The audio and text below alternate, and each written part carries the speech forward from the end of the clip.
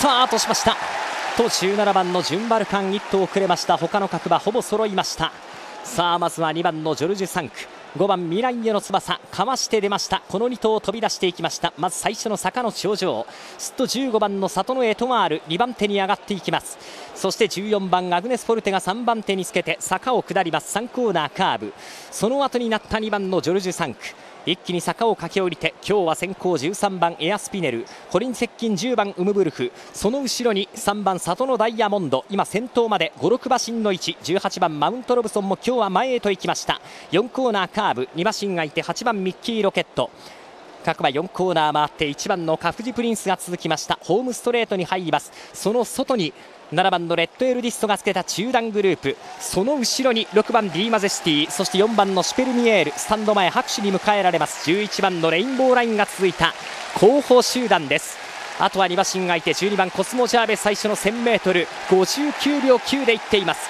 後方に16番のプロディガルさん。2馬身がいて17番ジュンバルカン。2馬身差で9番のイモータルが最高峰。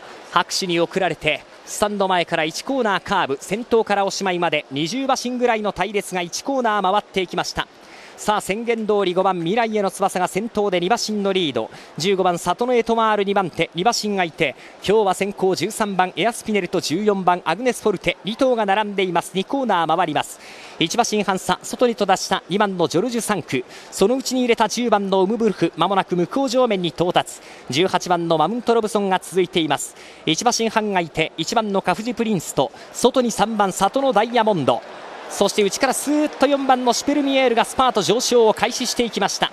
あと中段には8番のミッキーロケットつけていますがその内から16番のプロディガルサントさらに12番のコスモジャーベ上がっていきました。中段後ろに6番のディーマジェスティは外目の追走。その後ろに7番のレッドエルディスト隊列が変わっています。坂をぐんぐん上がります。2馬身がいて11番レインボーラインおしまいから3投目。そして17番のジュンバルカン。最高峰9番イモータル変わっていません。さあ2度目の坂越え800を切りました。3コーナー回ります。